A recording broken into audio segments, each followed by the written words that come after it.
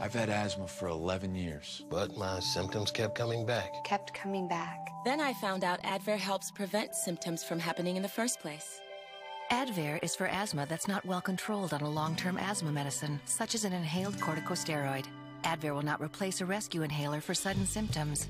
Advair contains salmeterol, which increases the risk of death from asthma problems and may increase the risk of hospitalization in children and adolescents. Advair is not for people whose asthma is well controlled with a long-term asthma control medicine like an inhaled corticosteroid. Once your asthma is well controlled, your doctor will decide if you can stop Advair without loss of control and prescribe a different asthma control medicine, such as an inhaled corticosteroid. Do not take Advair. Do not take Advair more than prescribed. See your doctor if your asthma does not improve or gets worse.